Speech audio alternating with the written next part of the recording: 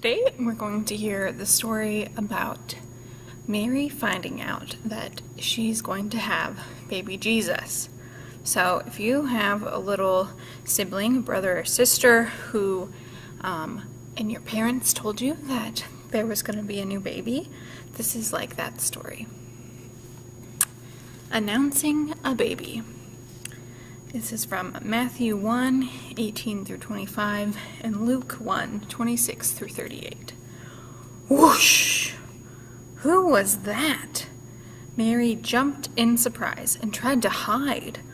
She was expecting Joseph to visit her to talk about their wedding, but it wasn't Joseph, it was an angel named Gabriel with a message from God. Don't be afraid, Gabriel announced. I have good news for you. You will have a baby. His name will be Jesus.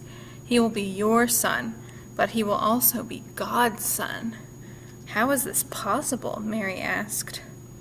Gabriel answered her, The Holy Spirit makes all things possible. Your child will be holy, the Messiah, the Savior for God's people. Mary was scared, but excited too. She took a deep breath and stood up tall. Here I am, she said. I will love and care for God's Son. Mary rushed to tell Joseph the news. Joseph tossed and turned in his sleep. He was worried about Mary's news. Mary was going to have a baby? God's son?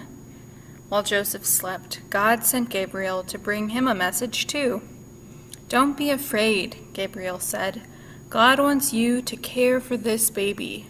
You will name him Jesus. He will be a descendant of King David. But he will also be a king for God's people. Joseph woke up, amazed by his dream. Gabriel was gone, but he remembered the good news. Soon he and Mary would be married.